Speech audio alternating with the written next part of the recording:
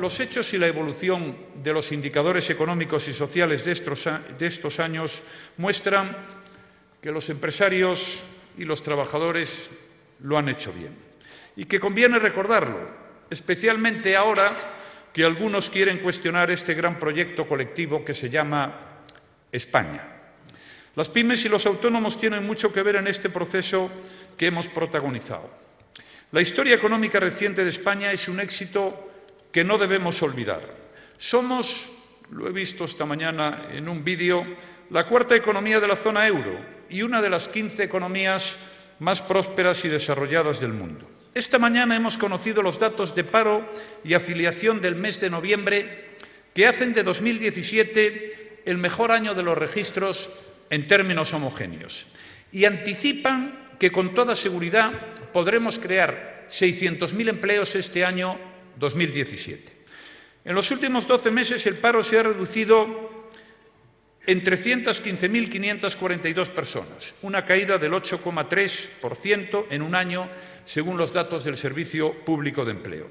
Pero lo más importante es que el número de afiliados a la Seguridad Social ha crecido en 12 meses en 637.232, lo que unido al incremento de más de 550.000 del año 2016, los más de 525.000 del 2015 y los más de 400.000 del 2014 supongan un crecimiento total de 2.124.213 afiliados a la Seguridad Social en cuatro años. Yo les pido que sigan apostando por el talento, por hacer lo posible por retenerlo, que impulse una gestión de recursos humanos de calidad, basada en la contratación indefinida, adaptada a sus necesidades empresariales con los instrumentos de flexibilidad que ya tienen a su disposición. Hay que crear más empleo a tiempo completo. Es un indicador que va asociado también a la calidad.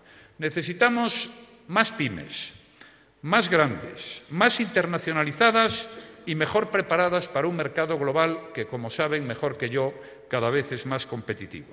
Ustedes son el principal activo con el que España va a competir en el futuro.